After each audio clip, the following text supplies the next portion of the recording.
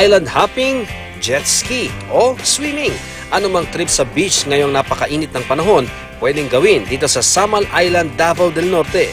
Hindi pa man opisyal na tag-init, paparami na ang mga turista sa Kaputian Beach Farm. Mas mabinta siya sa tourist spot kasi sir pag sa Davao mas ano mas mas maganda sa Samal. Una-una, napagandang lugar to, malinis at saka tahimik.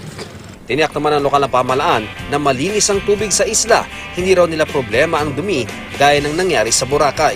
Kung gusto nyo ng malinis na dagat, mag enjoy kayo talaga sa pagsiswimming, pagdadive, at saka yung ah, pwede din kayo mag-trekking, come to Island Garden City of Samal in Davao del Norte. Gusto rin ngayon ng lokal na pamalaan na magtayo ng centralized na daungan papasok sa isla. Sa ngayon kasi, may kanya-kanyang maliliit na daungan ang mga resort na kung hindi raw matatanggal, baka makaapekto sa kalinisan ng dagat. So mag mag-accumulate yan ng kuan sa tubig natin.